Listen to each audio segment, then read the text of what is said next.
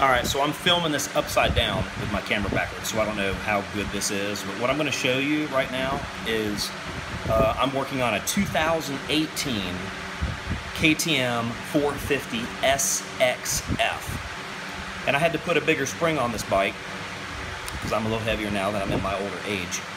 And uh, manual says that you need to take uh, subframe off, or not subframe, but uh, the swing arm, uh, rear master cylinder, all this stuff. And you actually don't. So let me show you what I did. Put my wheel up here and took this shock right here off all you got to do is be is get this linkage right here out of the way. So all you guys that have the KTM's, you don't have to take all of this off and this and this and all this stuff like they say in the manual. So you need to just get this uh, dog bone right here. You need to get this out of the way.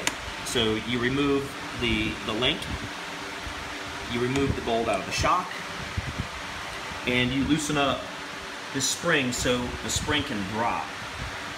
Simply pop this up, take it off, put the new one on, and that's it. So I just thought that might be helpful. All right.